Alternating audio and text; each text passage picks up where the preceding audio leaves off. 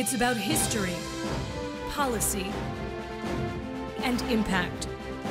A new perspective on current affairs, bringing experience, insight, civility, and scholarship to the urgent issues of today. It's about our past, present, and future. Your host, Pulitzer Prize winning author and journalist Douglas Blackmon. From the University of Virginia's Miller Center, this is American Forum. Welcome back to the Miller Center's American Forum. As we make our way into the year 2015, Americans can, in many respects, take great pride in the racial progress made over the past 50 years. The ending of a dark history of segregation and outright subjugation of African Americans, the election, regardless of anyone's politics, of our first black president, a full generation of Americans have reached middle age since passage of the Civil and Voting Rights Acts that ended legally mandated segregation. And over the past 50 years, millions of African Americans have had tremendous economic and educational success. Yet we have all been reminded over the past many months that despite that great progress, our country still has fundamental problems. The protests and debates in reaction to the deaths of black men at the hands of white police officers in Ferguson, Missouri, and other cities have been jarring. And for many of us, the reactions on all sides have sounded dated and rarely constructive. It has felt at times that America no longer quite knows what to debate around race anymore, and even less how to resolve these bitter conflicts. So, in this American Forum, we begin a very important new series entitled What Now? Starting with our two very distinguished guests today Julian Bond, one of the seminally important African American leaders of the past half century, and historian Phyllis Leffler.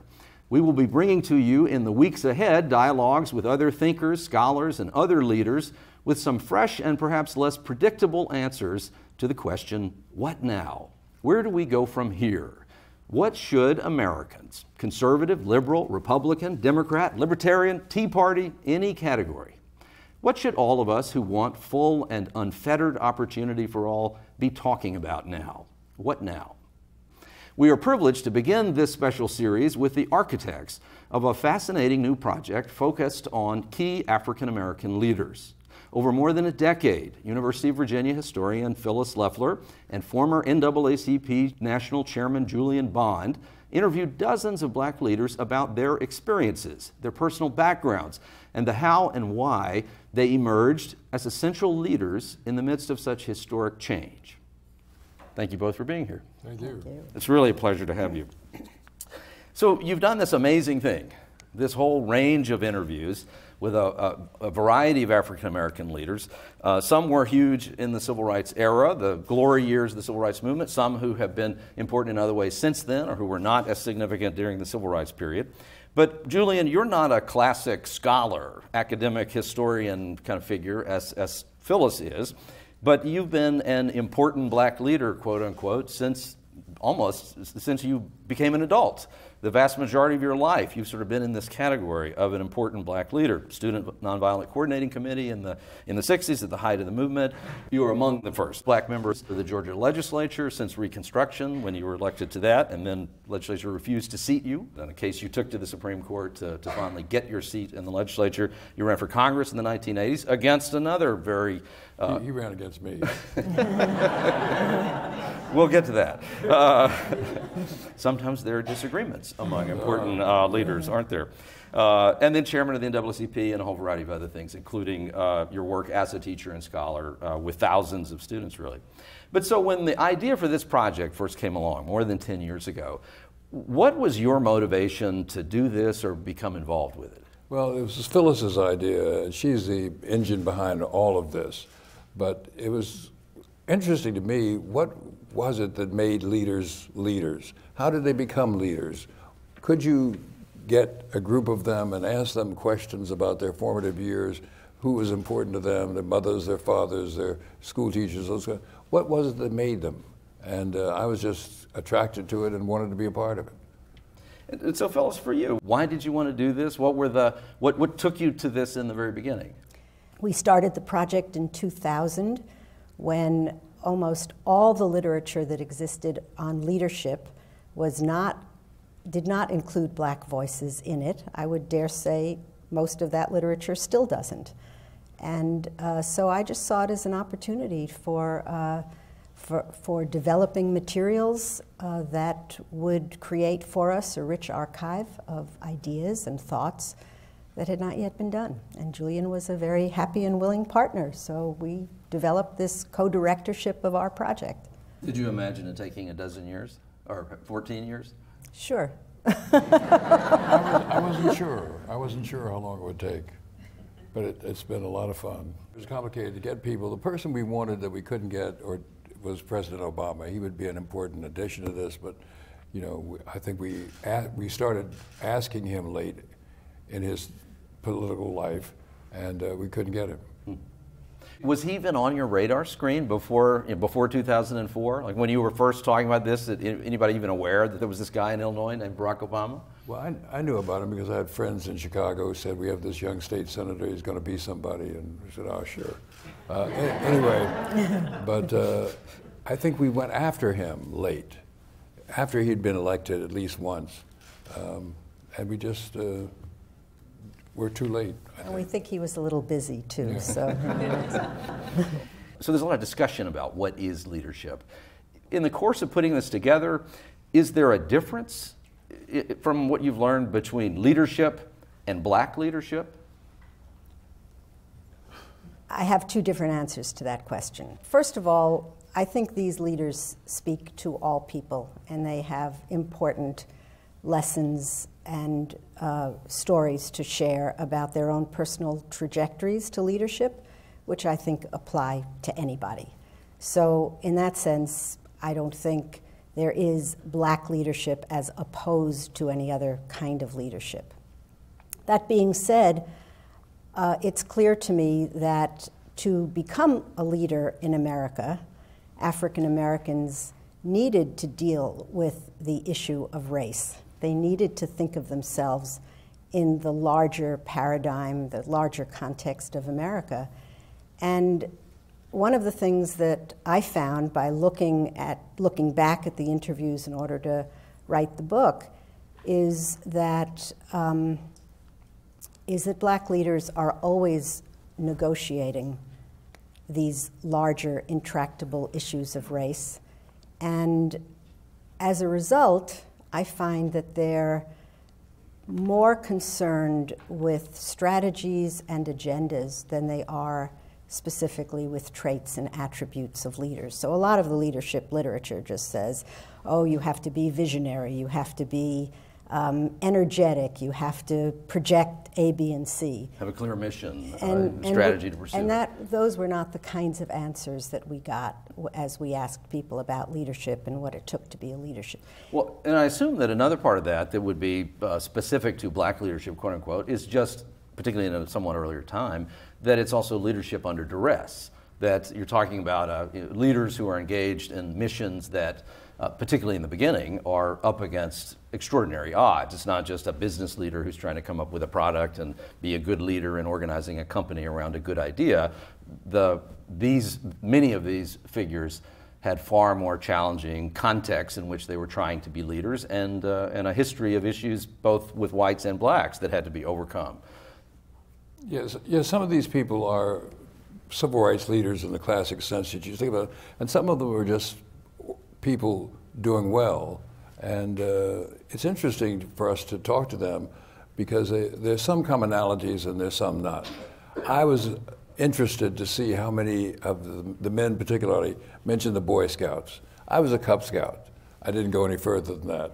But a couple of them said, you know, the Boy Scouts was so important to them. And I thought, I don't think of black people in that way. I don't think of black people being in, in the Boy Scouts. So I was surprised to hear that. I was an Eagle Scout in a segregated white Boy Scout troop in Mississippi, so I outrank you. I can't believe that. But the point about the Scouts, I would say, is that uh, a number of, of black men that we interviewed saw the, the Scouts as a opportunity for developing a network, as an opportunity for building community in a very, very consistent way over a long period of time and in getting rewards as they went for developing their skills along the way. So, you know, I think that's one of the reasons the Scouts emerged uh, with such power. It also struck me that that another dimension of this is again in the vein of leaders under duress, but that when you have a community of people uh, whose opportunities are so circumscribed, as they were for African Americans up until the 1960s for sure, that the importance of these sort of structural paths to leadership maybe was a little more clear. You know, that, that the, the value of, of a Boy Scouts as connecting into a network that, was, that then is going to be very important in this world that's kind of against you. In the same way with uh, the narrow range of opportunities in terms of becoming a teacher or a pastor and the value of the church. And the church come, is another thread that comes through all of these. But, but it was interesting to me to sort of contemplate in a way that I had not before. Uh, that again, it's one of those responses to duress and responses to, to, segregation that, in a particular way, pulled out leadership from a lot of individuals. I mean, is that is that a reasonable analysis? Oh yes, I think so. I think many of these people we talked to uh, said to themselves, without actually saying to themselves, "I need to improve my circumstances, and I'm going to do A, B, C, or X, Y, Z, or something." uh, In ways that other people, I think white people, don't have to think about. Uh, so they're unique in that way. Yeah. But another thread that runs through is your frustration and the frustration of a lot of the folks you interviewed about whether younger African Americans in particular, and sort of all Americans in general, know enough about these events, understand enough about leadership. And I wonder if some of that is, is that with there being less duress, less, uh, the world less against uh, young African Americans today, that it's not quite as clear that I need to be getting ready to play my part or do, do these important leadership things. Well, I think all the people we talk to, it's clear that they have a role to play, and they're going to play it. Uh, but there may be a, a subset of black people who say, "I don't need to do these things." There probably is that I'm not aware of that I don't need to do these things, but the, these people knew they had something Oh yeah, to they, do. sure, but they but they worry that their grandchildren might not. Their grandchildren might not be as clear, or that that, that younger people today may not be uh, as aware of what went on before, and may not feel as much of an urgency uh, to do some of the sorts of things that their that their forebears did. Well, Is that reasonable? There's, there's less duress in some ways and more in others, Yeah, I think. yeah. So, you know, you have less, uh, less opportunity, perhaps, in the Jim Crow era. Um, but now there's a different kind of duress that's more hidden, and that is, um, is, is so devastating, which we're seeing day in and day out. Every day we pick up the newspapers. Okay, So- well, let, us go to that. Let's um, uh, uh, because the, the the other thing I wanted to ask you about that, that relates very much to that uh, is that there is an interesting thread of, uh, of of a theme that comes up in different interviews at different times, but and a real awareness on the part of these leaders that there were more obvious objectives, obviously, uh, for the civil rights movement and for black leadership in the 1960s, these institutional uh, actors of duress uh, for, for black people. And that now, though, it's not as clear exactly what the target of, of change should be. Uh, and, the, and there are uh, uh, behaviors and such that it's, it's harder to figure out exactly what the origins of these problems are. It's not as clear that it's just a, a hugely racist white society causing all this. And there's a question of whether the response to some of these things should be entirely through the courts or uh, entirely through government action or other kinds of things. So let's, let's listen to a, a short clip of, uh, of, one of, of a part of one of your interviews. You've written about the destructiveness of slavery, segregation, uh, talked about the damage done. Can the playing field be leveled by, and if, and can government level the playing field? And can it do so without breeding the kind of dependency that you've also talked about? I always worried about that endlessly. How far can you go without um, your solution becoming as harmful as what you thought the problem was? There's a lot of harm that, you know, whether it's a broken family, that it's uh, crime, it's uh, uh, habits, it's um, just negative influences that are devastating. I do think that um, when you create these headwinds that prevent people based on race from accomplishing things, that government has to cease that, that you have to rectify that, you have to remedy that. And we attempted to do it in specific areas when I was at EEOC. I don't know how far you can go and how global you can make that without running into constitutional limitations. And I also don't know how far you can go doing that without creating or causing additional harms. So, Clarence Thomas acknowledging that there is a legacy of harm from segregation. That's something that I think a lot of people would, maybe who don't understand Clarence Thomas as well as they should, uh, but a lot of people, particularly of the on the liberal side of the American pol- political equation, would actually, I think, be surprised to hear Thomas sort of agreeing with the idea that there's a historical legacy of racism. I, I have strong memories of this interview because somehow or another I asked him about an affirmative action decision by the Supreme Court, the Paradise case. And uh, it, what happened is the Supreme Court ordered that Alabama hire one black tr- state trooper for every white state trooper. And he said no. I said yes. He stopped the interview. He sent one of his clerks out to get a law book. Clerk came back with the law book. I was right. and I was amazed that he didn't know this case, and he should have known it. But anyway, we went on. But so the but that's interesting though because that's sort of what we would expect. We the, in the sort of general understanding, whether you're a fan of Clarence Thomas or not, uh, certainly the general rap on Clarence Thomas is that he doesn't understand those kinds of things. Maybe even doesn't know that history, and one would think that he should. He was a Supreme Court justice. Exactly, exactly. So that's why one would imagine that. Yeah. But he did, though, say because, and I think he was dis- he was then discussing that very case when he went on to say some of what we just heard, which was that when the government has really caused these headwinds and really deliberately gone out of its way to cause harm, as in where the state of Alabama had simply refused to hire a single black state trooper. I think that's what led to, the, to that particular judgment eventually. But he's acknowledging there that, okay, in a situation like that, the court should intervene or the government ha- does have to do something. But then quickly going to also the observation that you, that you asked him about. At what point uh, how do you balance correcting things without further harming other people? How do you, how do you, how do you hire enough black state troopers uh, without denying the opportunity to be a state trooper to qualified white state troopers? And so, but I, I just, I was struck by that he was giving any ground at all to the idea that there is a legacy of racism and segregation that still needs to be dealt with. Were you surprised by that? A little bit, but I think he's a complicated person, and it's you don't want to think he's simplistic because he's not at all. But uh, I'm, I wasn't tremendously surprised at that. Phyllis, when you were thinking through, or the two of you together, about who to include in this, I mean, there are a lot of people, a lot of liberal minded folks who would say Clarence Thomas is not a black leader.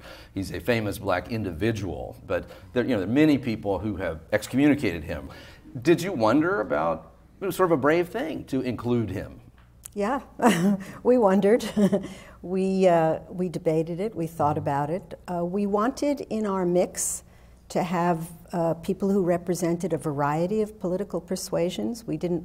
We also could have been criticized in terms of the mix for only talking to progressive people or You people on the have been, progressive. right. And so we felt that we needed to have some representatives that would, you know, reflect other political uh, and and uh, other and, and values. And so um, one could ask whether he is a leading black or a black leader. That distinction has often been made.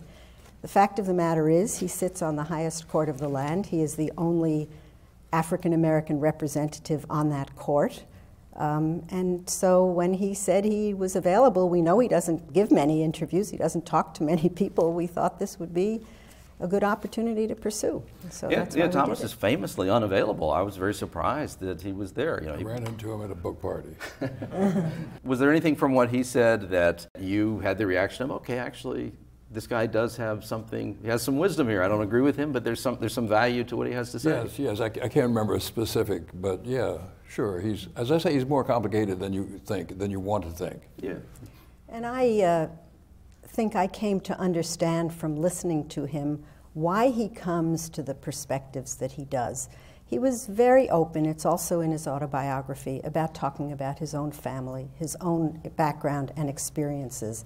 He came from absolute dire and abject poverty and um, living in a tiny little town of Pinpoint, Georgia. And his father abandoned the family. His mother uh, developed a relationship with another man who didn't really want to be responsible for children.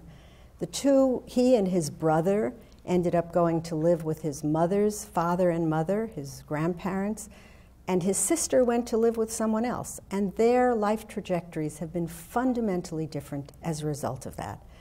I believe his sister ended up on welfare. The two brothers clearly had a very different life experience. He totally credits his grandfather for having created that structure, those demands, that self help entrepreneurial spirit. His grandfather clearly didn't want um, to be dependent on any white person in the society, and so became a small independent businessman. I couldn't imagine an interview in which somebody talked about one person more than Clarence Thomas did in this interview. And it was always my grandfather, my grandfather. And so it became pretty clear why you would develop the kinds of values that you do given the kind of background he had. I've always thought that, that some of the reaction to Clarence Thomas has been a bit off base, just in the fact that so many people, particularly younger people, have reacted to him uh, as if a black conservative must be a space alien that fell out of a spaceship and landed on America, but that in reality, he is the product of this, of, of a grandfather who comes from a long tradition of black conservatism back in, uh, uh, Julian, I think I've heard you talk before about that, that if you go, go back a generation or two, aren't there black Republicans in your family? Oh, sure, yes. My father was a Republican. Uh, when we lived in Pennsylvania, he uh, was active in Republican Party politics. But uh, it was a different Republican Party then, not like the one, not the nutcases we have now. yeah, and I guess that is the thing that's still shocking is that the Republicanism of Clarence Thomas's grandfather was pretty radically different from the Republicanism that he would appear to ascribe to. And now. interesting is, grandfather was very active in the NAACP, which is something he didn't leave to Clarence. Yeah, let's play the second Clarence Thomas clip. I don't know how far you go. Uh, the Constitution has very strict limits, in my opinion, on the use of race and sex categories. It says citizenship and person. And I think we have to be very careful that we're not locking in precedents that in the long run will do greater harm. Uh, Justice, and I can't remember who uh, said years ago, if you want to get beyond race, you have to go to race. That was Justice Blackmun. Okay. Yeah, I don't know what that means. Um, I think it means that you can't talk about remedies unless those to race, unless those remedies have some race consciousness in them. Yeah, I don't still, you know, I've read that and read it and reread it, and I don't know. I mean, I said, how do you get wet? Do you, in order to be dry, you must be wet. I don't know that. I don't understand it. I don't know how you can have the. That's just. But at any rate. Well, it was a great case, uh, which I know a little bit about, Paradise versus Alabama, mm-hmm. state trooper uh, case involving the exclusion of blacks from the state trooper ranks. And the case went through several, several rulings in which courts ordered Alabama to do this, mm-hmm. and Alabama just wouldn't do yeah. it every time. And finally, after I think three higher court decisions yeah. said to Alabama, you will hire one black state trooper for every white state oh, trooper you hire. Un- imposed a quota. Uh, but you also had a wonderful interview with, with Charles Ogletree, um, a, uh, known to his friends as Tree, of course, mm-hmm. uh, but a uh, a brilliant law professor at Harvard. Uh, I've always said, present company excluded, the smartest man in America uh, by far. In your interview with him, you talked about some of these same uh, sorts of questions of the role of the courts and uh, how injustices and legacies of injustice uh, should be dealt with in the present. And Ogletree, of course, is an architect of a lot of uh, very important litigation and efforts through the courts to accomplish things in the tradition of the civil rights movement, the great accomplishments of the NAACP, Legal Defense Fund, and others through the courts to accomplish so much. But then, interestingly, he says some things in this interview that, uh, that suggest a sort of a reframing of some of those questions. But so let's, let's listen to that clip and then uh, have you guys respond to, to what do you think about that how to get beyond the tendency to think that everything can be solved by the legal system or in a case or in the courts. Uh, I have matured, I would say, to realize that the courts are important, but not the only way to solve our problems. Uh, I have matured to understand that there is a c- concept about uh, self, uh, uh, sort of self-help and personal responsibility that uh, as much as government should and ought to be held accountable and responsible for addressing the needs of the needing, we also have an even greater goal and challenge to uh, address these issues as well. It was interesting to hear him say that because I hadn't expected that from him. Uh, I'm not saying this is the wrong thing to say, but it, it was something I had not expected from him. I want to make sure that's not uh, misunderstood because he actually went on from that little piece to, I think, explain further what he meant by, by self help and responsibility. And he talked actually about um, needing to empower communities to work on issues. And so it wasn't just an individual responsibility, it was really a communal responsibility. He talked about the incredible, his own work in getting parents to be more involved in their children's schools because we all know what an important impact that has on education. He talked about some of his own work, his own legal work in representing rappers, for example. Um, he talked about the importance of working for reparations within the society. So, and then, you know, he said you have to find ways to make a difference in the society through your own engagement with your communities. And he did talk about the, he, may, he went to some lengths to say uh, that, for instance, the No Child Left Behind uh, notion uh, that in its original, uh, the way it was originally talked about, is the importance of No Child Left Behind uh, was a good thing, and in the sort of communal way that you're referring to, but that it had, he was very critical of how it had actually been implemented as a, uh, as a part of a, a kind of strategy that he wasn't supportive of at all. And, you're, and certainly he hasn't abandoned the litigation approach either. And he also said we have to empower young people to step up. And he said, as part of that section, you know, my young law student, Barack Obama, who had been on the law review, you know, I'm watching his career closely. This was before he'd been elected president. So, you know, he, he saw this as as his responsibility to somehow empower younger people also to take up the mantle of leadership. While we're on Ogletree, let's play. Uh, we have another clip from him as well, not far uh, away from the earlier one, but uh, that speaks to some of these similar issues. But let's hear the second Charles Ogletree clip. We have to figure out a way how th- those who fled, uh, the black middle class that fled like whites uh, as a result of integration, and abandoned urban America, have to find a way to reinvest and recapture urban America. Because when 50% of our children are dropping out of high schools uh, in urban areas around the country, it's not someone else's problem. So, what does that add up to in terms of forward moving leadership? You know, in, ter- in, terms of what the wisdom of a Charles Ogletree and others who said somewhat similar things in, in others of your interviews, is there a, what's the mandate there for? for the, for the next Barack Obama, whose name we don't currently know, but this some emerging black leader of the near, of the near future. What's the, how do we interpret what Ogletree was, was telling us there? Well, that as a responsibility, a communal responsibility to, to grapple with these issues and do something about them, as, you said a moment ago.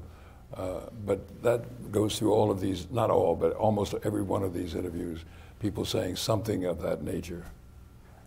You know, there's a, almost a mantra in the African American community to lift as you climb.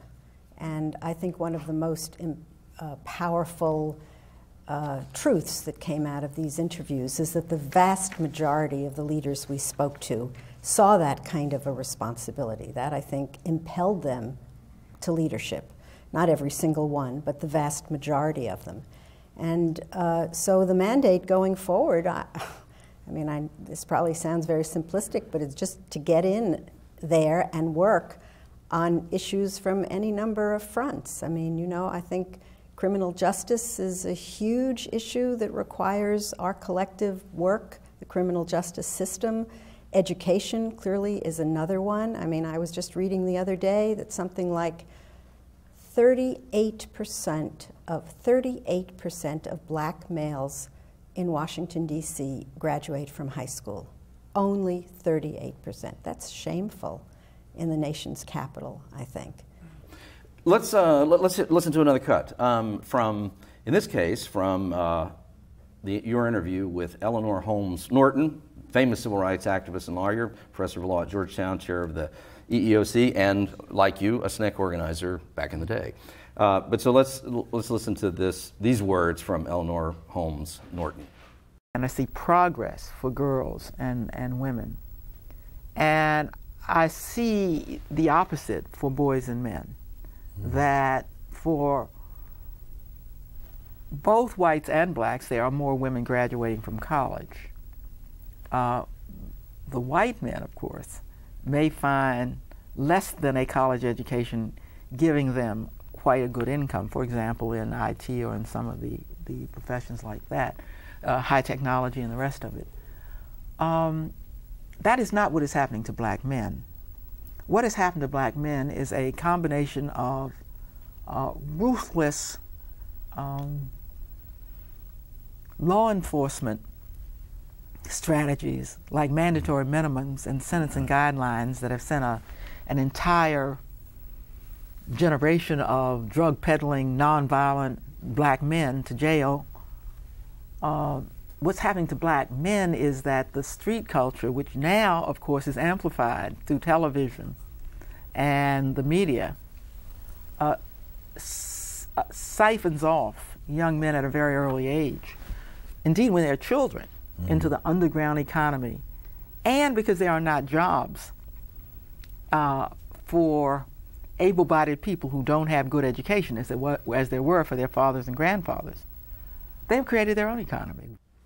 So she's talking about this whole range of, of terrible pathologies in some respect and just uh, and uh, uh, unexpectedly difficult circumstances, whatever we want to call them, but this whole range of, of issues that arose in particularly in urban communities, I think, in the in the aftermath to some degree. They weren't completely absent before the civil rights era, as some people claim. But but this much sort of uh, like I said before, elusive set of issues that, that one can't come up with uh, just a we need to take down this bad practice that's been established for so long to fix it. But what, the, what was your reaction to, uh, to those sorts of observations? I'm going to make an unfair uh, comparison, but sometimes when, uh, when some of your interviewees talked about what some people would refer to as negative behavior, I think some of them actually called it that, negative or inappropriate behavior by African Americans, I had this reaction of uh, um, uh, that, that, this is sounding a little bit like Bill Cosby uh, when, when he was saying things like black people need to clean their act up uh, and, and, was very controversial for that. But what was, what was your reaction to those? Well, it wasn't a Bill Cosby reaction. Um, I was present when Bill Cosby first dropped this bomb uh, inappropriately at an NAACP uh, celebration. but at any, any rate, when you hear these kinds of, of concerns, and we heard them over and over again, uh, I think our response, or mine at least, was to say, this person's right, and we need to do something about it. And sometimes this person is saying, here's what the uh, something is. Try X, try Y, try Z, and so on. And Eleanor Holmes Norton established a DC coalition for men and boys in Washington focusing, I think, primarily on mentoring and on job training, kind of Job Corps program. So she, she put a lot of weight behind specific outcomes that uh, could perhaps change that trajectory. But, you know, I think we shouldn't forget that we, that the Great Society programs of the 1960s uh, created um, created a way forward for us. I mean, there were remarkable outcomes from some of those programs, all of many of which were gutted in the 1980s. And then, of course, we have these new new laws that got put into effect, um, enormously increasing the prison populations for very, very petty offensive offenses. We know when people come out of prison that their opportunities become much more limited. So you know, th those are the fronts that we really need to work on. And we need to recognize that I think, uh, you know, most of our black leaders did recognize that government has an important role to play in this. And yet we live in a society where we seem to have lost our collective will to have the government work to help solve some of these problems. It's not to say that individuals don't have responsibilities and communities don't, but it, it just has to be both and. I'm sometimes struck by how infrequently uh, we hear uh, people address that very thing that, that in fact, uh, there was a lot of success, at least by certain measures, uh, from some of those programs that are so vilified now. And, uh, and so, and you have instead, very frequently, your black leaders talking about um, things that you know really a bit more like what would now be called, certainly by Republicans, faith-based uh, uh, nonprofit organizations, but but not really the argument for the government in a really muscular way, like it did in the in the early 1970s, needs to be back needs to be attacking these things in a systemic way. But were you surprised that, or is that a bigger element of the interviews than I realized? Well, I think it's a common thread that runs through Black America. Uh, we used to do X and, and, now we don't do it. We used to do Y and now we don't do it. Uh, it was successful. Why, why did we cut it out? Did we cut it out because it was successful? Uh, and so on. So this is a, a, a common part of the discussion in, in, the community. Let's go to another cut. Um, let's listen to uh, Robert Franklin, uh, who's a really interesting former president of Morehouse College, uh, a pastor and theologian, um, remarkable intellectual.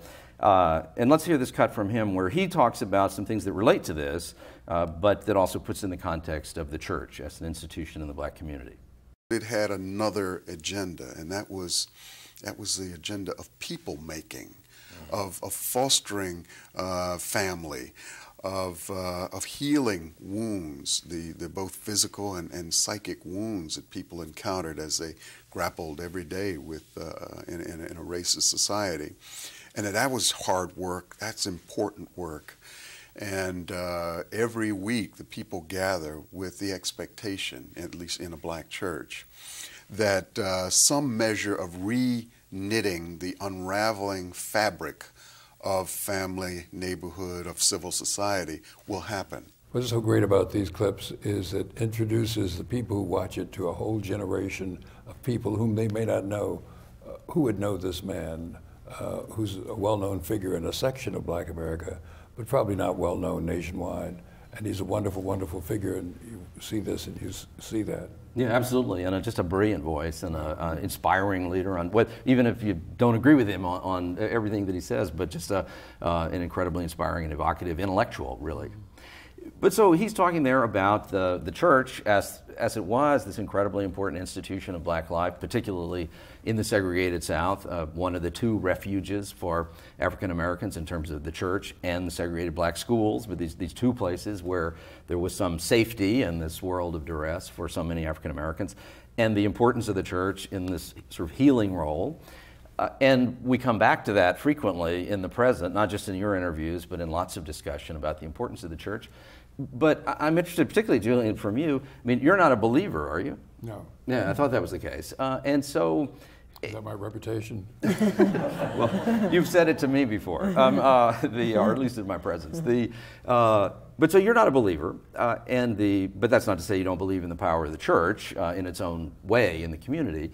But, the, but nonetheless, the, it says something. Uh, and, and the role of the church, particularly as a healer, is well known and established as, as a refuge. But the role of black church leadership at the beginning of the civil rights era was a lot more checkered. You know, there were a lot of pastors in Mississippi, black pastors in Mississippi, who did not want guys like you from SNCC to, to, roll, in, to roll into certain places at certain times uh, because it was disrupting things in, in unsettling, dangerous ways. Uh, and now we're, there's also been some criticism. I remember Coretta Scott King some years ago, before her death, obviously, uh, she gave a really important speech to, at a gathering of African American church leaders in which she came out and said, the black church has been silent on HIV, and we've been in denial uh, because of our conservative social values, was, I think, implicitly what she was saying. And that has to change. The black church has to play a different role in a different time. But, but what's your, is it a little too pat for leaders to say the church can take care of these things or play this role? And is there really a record of that? Oh, oh, certainly, there's a record of that, but certainly you don't expect the church to take care of all these things. And I think sometimes people do think the church will do it, and the church is not going to do all these things. It may try, and let's hope it does, and let's hope it does its best, but you can't say the church is going to take care of these things. What do you make of that in, at the height of the civil rights movement? That liberal white churches were really on the correct side of things, that are as close as anybody white institutionally could get to in that period of time. Conservative churches were really in the wrong place in terms of white churches. Black church was playing this role that you've just described.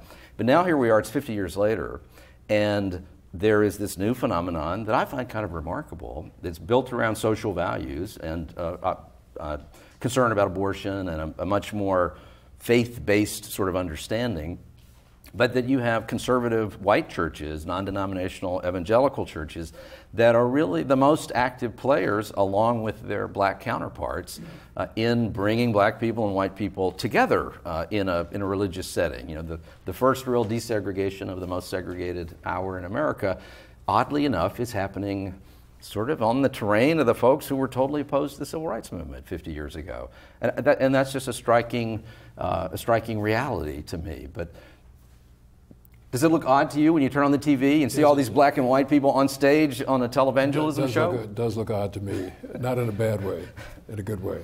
I'm not sure I, I, I totally know what to make of that, but I think, um, you know, if it works, if it brings people together, if it focuses on the right values, if it is uh, inclusive and not spawning other kinds of prejudice, then I'm for it. And if it's not but fake. I'm but I'm not sure. But I'm not sure it does all those things. In the, in the aftermath of the, of the celebration of the 64 Civil Rights Act, a book was published whose name I can't remember that gave enormous credit to the mainstream Christian church for helping pass this legislation. And the author argued that this phenomenon doesn't exist today, and I think he's right. The mainstream churches seem to be absent without leave today in these ways. And, and while it's good to hear about the phenomenon you described with these conservative churches, good for them. Uh, but what happened to the mainstream churches? Where are they? Why don't we hear their voices? What, have you seen the movie Selma? Yes, twice. What did you think of the scene? Well, we'll ignore for a moment the, the thing that's been talked about the most around Selma in terms of uh, historical accuracy. But what did you think of the scene when um, Dr. King uh, uh, arrives and John Lewis and was it James Farmer who's depicted being next to him? I'm trying to remember, or was it Form? Who was Forman. it? Forman, Forman, Jim Forman, right? Yeah. So the Dr. King comes into the room, and now Congressman John Lewis uh, early important SNCC organizer, uh, and another SNCC organizer sitting next to him, and there's a dispute over uh, over who should run what's about to happen in Selma. But was that a was that an accurate depiction? I'm just curious about that. As far I know you weren't there, but uh, as far as your understanding of the relationship between this youth-oriented organization of SNCC and the church-based uh, organization of Dr. King. Yes, the Student Nonviolent Coordinating Committee was there first, before Dr. King came. Uh, but what's troublesome about the depiction of James Forman, who is the CEO of the Student Nonviolent Coordinating Committee, is first he was older than Dr. King, but he's treated as a youngster, a kid with a hot temper, uh, and just a terrible portrayal of, of this decent, decent guy who was a wonderful figure in the civil rights movement. And luckily, uh, the movie doesn't call his name out that much, so maybe nobody will know who they, he's supposed to be. But it's just an awful depiction of a, of a wonderful guy and uh, unnecessary, too. Well, that's interesting because it does. Uh, but I, if I were to channel for the director of the film, uh, I, I, think what she probably would say is that perhaps there was some dramatic license taken there, but that it was to underscore that there was this tension between SNCC and its somewhat different purposes and tactics, and the Southern, Christian Leadership Conference, which was very church-based and uh, and prophetically inspired. But is that larger depiction of the tension there? Is that a is that a reasonable portrayal? It, it's reasonable, but uh, it's irritating. it's tremendously irritating. And you know, you I, people learn their history from these movies, and of course they're going to learn some bad history about LBJ from this movie if they look at it. I urge people to see it. I think it, parts of it are wonderful. It's worthwhile going to see. I hope everybody who watches this show goes to see it. But they ought to understand that there are things in it that just aren't true. Well, let's sit on that for a minute, since so many people are interested in this. But so it sounds like you uh, you're sympathetic to the idea that President Johnson is portrayed in a way that's not quite. Oh, absolutely. How so? Well, here, think about this succession of, of, of images. Here is Martin Luther King and, and LBJ talking together, and LBJ doesn't get what he wants from LB, from Martin Luther King. Then L, LBJ says, "Get me J. Edgar Hoover." Then the next thing you know, Mrs. King and Dr. King are listening to the sex tape, and you're saying to yourself, "Oh, LBJ, bar top, Dr. King." Well, it wasn't Dr. King. It was John, it was Robert Kennedy who did that, and it just made uh, LBJ a bad guy. When in this instance, he's the good guy. He's the good guy. He's the best civil rights president we ever had in America. And to treat him in this way is just awful. You know, he has a lot of bad things he did, but this is not one of them. Well, it's interesting too, just going back to the discussion we were having a second ago, of that uh, part of the danger, uh, and, and I think I would agree historically with your depiction of things just there and your, your concern. I, I would share it. And one of the problems with that is not just sort of getting that sequence wrong, but also that this guy was the architect after having been a bad guy on race in an earlier time. Sure. He then is the architect of these things that accomplish so much good, at least by a lot of analysis, and so that whole legacy gets uh, at best obscured uh, Mm-hmm. when, when he then is portrayed in, in this kind of way. It, it is a risky thing. L- Let me ask you another thing about that. Uh, someone even more unknown to most people, uh, but who was briefly in that film, and that's Diane Nash, uh, who was She didn't have a word to say. and she and her husband are the people who thought of the idea of picking Selma, of having a movement in Selma, of having a march from Selma to Montgomery. Diane Nash and her husband, then, James Bevel, they're the people who thought up this. Not Martin Luther King, not LBJ, these two people, this Exactly. couple. Exactly. And so I was so struck that here you have a film that is directed by an African American woman, uh, funded and starred in to some degree by another super famous African American woman, Oprah Winfrey. Uh, and, the, and then you end up with that here's the seminal figure from the time, one of the relatively few women who played Mm-hmm. such important roles. Uh, and yet, she, certainly by my estimation, was terribly underrepresented and even Absolutely, misrepresented. Absolutely, absolutely. She's a forgotten person. Yeah, no, it's a striking thing. So, back to black leadership. Uh, this film comes out. It's got these problems to it, uh, problems with it. Andy Young came out at one point and said his response was they've got the depiction of John uh, of Andy Young comes out and says they have the depiction of Lyndon Johnson wrong, but that everything else is really beautiful. And I think he really meant thematically, the, you know, the big notes uh, were right. John Lewis uh, um, was more uh, generally defensive, I think, of, you know, of, of, in support of the film. But there has mostly been, from current day black leaders, particularly as you get younger, I think, a sort of rallying around the film and, uh, and a real pushback against, a, a, a- and a sort of an implication that this is white folks trying to, trying to take down this movie because they don't like the way their white guy is treated. But has there been enough of your voice that you just had and other folks like you to sort of come out and say, wait a minute, there really is a serious problem here? No, there hasn't been enough. Uh, LBJ doesn't have that many defenders. Joseph Califano defended him and defended him wrongly. Exactly. So it made things worse. Yeah. What do you mean by wrongly? I think, but what do you, how did he defend him wrongly? Well, he argued that uh, LBJ was responsible for Selma being chosen, and that's just not the case. Yeah, he, he encourages that this kind of activity uh, and recognizes the value of it uh, in bringing the media's attention to these problems, and that that will help move forward the Voting Rights Act. Uh, but he doesn't say Selma's the place to do it. Clearly, it's not his idea, but but he certainly also isn't opposed to it. And, No, and not, he's not, not at all opposed to it, and uh, to treat him as badly as the movie does, I think, does real dishonor to the movie. We have talked a lot about these lingering uh, pathologies and issues and disappointments that, that while we have the, the, there's been so much progress in many respects, got a black president, all, all these positive things, but these negative factors remain. The, the, the disparity and the gap uh, in terms of uh, income and educational attainment between African Americans. But at the same time that we have all of that and mass incarceration, there are these interesting macro trends at work as well. Where, for instance, uh, Phyllis, you pointed out the really abysmal uh, high school graduation rates for African American males, I think you were referring to, in Washington, D.C.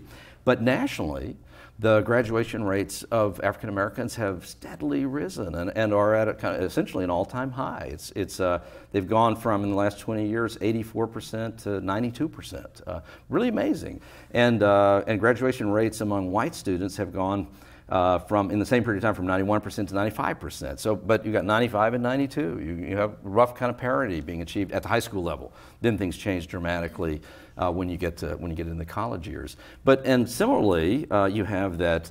And a lot of people are surprised when I point this out, but the, we have all of our discussion about mass incarceration, and it is this big, huge issue, obviously. But the incarceration rates have flattened and maybe gone, begun to go down a little bit for African American males.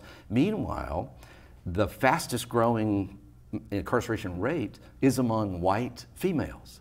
Uh, there's this skyrocketing um, uh, incarceration rate of, of white women. It's increased 38% uh, uh, between 2000 and 2010. The other thing that surprises people, I think, is that uh, that the teen pregnancy rate, which, you know, in these old brutal cliches and stereotypes that were thrown around about African American girls and teen pregnancy rates, but in reality, for the last 20 years, pregnancy rates among black girls have fallen precipitously, and the teen pregnancy rate of white girls is going up. Uh, and so there are these, these sort of fascinating things, and also just more of the complexity of, of the issues, and that they're not just limited to African Americans. But, but how, do you, how do you react to that at the same time there are these really negative things happening and things like Ferguson? At the same time, there are these cross currents that say maybe, maybe we're on the right path. But how do you react to that? I don't know. These are headaches. Uh, you think about what happened in Ferguson and the failure of the criminal justice system to remedy this. It's good news to read in the New York Times today that uh, one of the policemen who shot a guy has been indicted for the marginal marginal crimes. Um, but it seems like we're just repeating these things over and over and over again. This police black community relationships have always been worrisome, always been troublesome. Police have always behaved badly, and uh, we've not been able to, to corral it in any way. Uh, we have to develop new strategies, I think, new things to do, because what we're doing now isn't working. I'm confused about the education statistics you just gave us. Uh, I know that there is data out there that suggests this enormous rise in high school graduation rate. But there's also other data that says that it depends on how you count high school graduation, and that more and more people, especially some of those who are incarcerated, are earning degrees through the GED program, and then we count those as part of our statistics of high school graduates. Yet we know that those people aren't competitive in the job market, and, and that they are not earning incomes even commensurate with a high school degree. So again, it just depends on how you count the statistics as to whether we really have an ongoing, continuing problem. And I just told you the statistic earlier in New York, I think, 37% of black men graduate from high school, and in Washington it's 38. And there's data there, state by state. You yeah. can look at it. Yeah, no, there's no doubt that, that you know it's not as we haven't worked it all out, uh, and sure. it, it, brings us back to again, it's all complicated. It's all hugely complicated and requires a, uh, a complexity of leadership that you know that it, uh, that on the part of everybody. Uh, no doubt about that. Is there anything about uh, the lessons of black leadership that come out of this? Go back to Ferguson is there anything that anybody could have led differently, black or white, but particularly black, that might had might have? I mean, the wisdom of the folks you talk to. Is there something that might have happened before that day, maybe 20 years before that day? But is there some other path of leadership that might have been followed where that day never came, the, the day that Michael Brown was killed? Probably so. They're probably um, among the 50 people we interviewed probably some genius could say, well, wow, why don't we do this? Is that something we never thought of? But uh, that doesn't mean that people aren't working to think about it and aren't hoping to find some way to. I mean, this is just awful. This wave of, of shootings of black men is just awful, terrible. And uh, the fact that we've not been able to halt it or punish the shooters, punish the killers, the murderers, we haven't been able to punish the murderers is, is a condemnation of the whole society last thought. You mentioned that you couldn't get President Obama to sit for an interview, uh, but so after having done all this work, having talked to all of these brilliant and important people, what's your assessment of uh, President Obama as a black leader or as a leader? And I don't think of him as a black leader. Not that he's not a black figure, a black person, uh, but I think of him as a president. Does that say something? That you don't view him as a black leader? I don't know. I don't think so. Um, but uh, I think he's. When, whenever I think about him at all, it is to think about the tremendous handicaps he faces from a Republican Party which said from the very first, we want him to fail. And they've done everything they can to make him fail. Uh, and it's amazing that he hadn't gotten up one morning and said, to hell with this, I'm going home. Uh, I think a lesser man would have done that.